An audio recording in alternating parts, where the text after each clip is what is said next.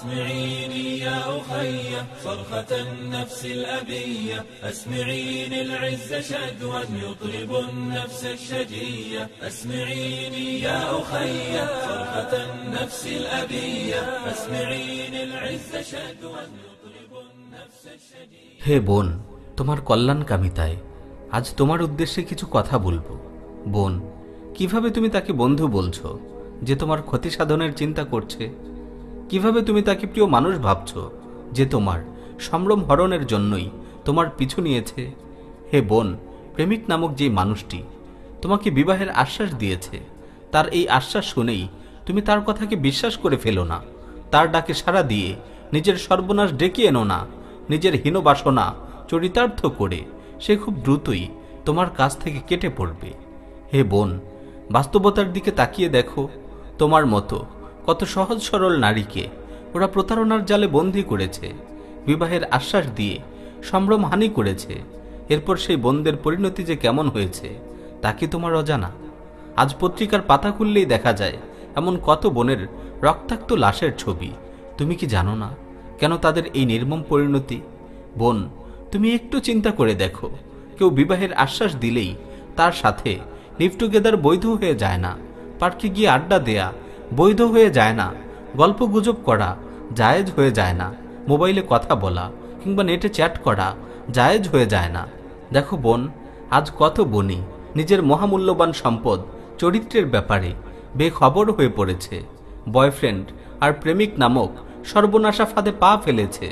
তাদের কামনা বাসনা পূরণের জন্য নিজেকে উন্মুক্ত করে দিচ্ছে।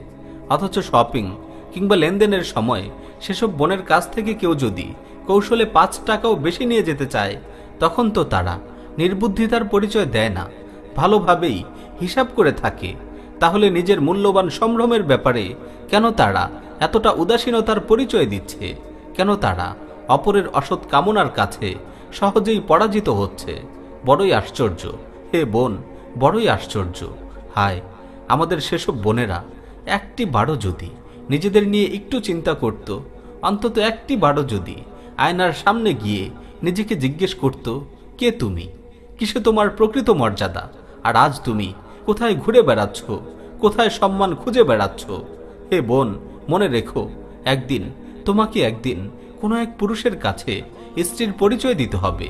আপন সন্তানদের সামনে মায়ের পরিচয় দিতে হবে।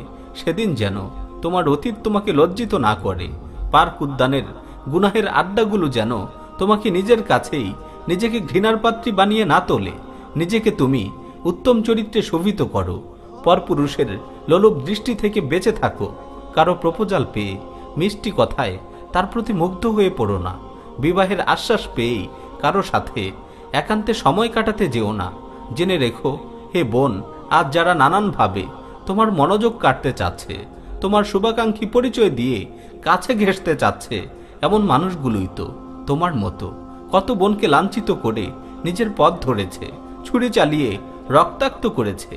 হে বোন, একবার, অন্তত একবার ভাবো, নিজের বর্তমান অবস্থা নিয়ে অন্তত একবার চিন্তা করো, মহান আল্লাহকে ভয় করো, দিনকে আঁকড়ে ধরো, ইসলামের পথে সুন্দর জীবন গড়ো।